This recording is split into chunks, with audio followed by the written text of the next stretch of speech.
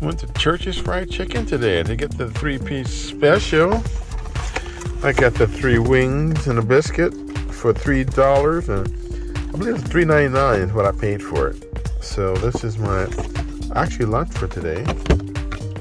Mmm, oh, oh, biscuit. I put honey on the biscuit. That looks so good. Mmm.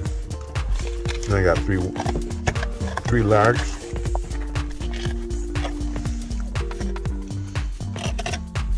See what this tastes like. Mm. Mm.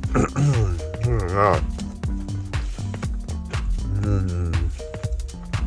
So, here's my lunch. I got the spicy three-piece chicken special with biscuit for $3.99. And I'm going to finish this. Anyway, thanks for watching. I'm going to enjoy my lunch. Take care. Bye.